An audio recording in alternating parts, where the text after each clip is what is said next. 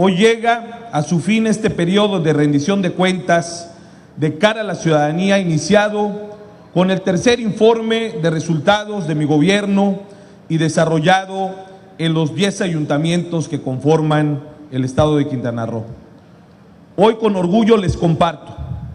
que en los 10 municipios de Quintana Roo estamos trabajando con entusiasmo, con compromiso con la sociedad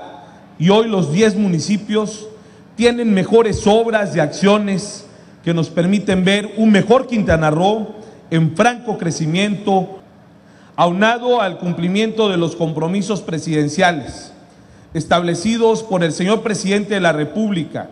licenciado Enrique Peña Nieto, aliado de los quintanarroenses y aliado personal de Roberto Borge, escuché a Paul Carrillo y confirmo lo que he señalado. Su informe de gobierno acentúa el trabajo arduo y la pasión de servicio, el éxito de esta administración y la consolidación de un cambio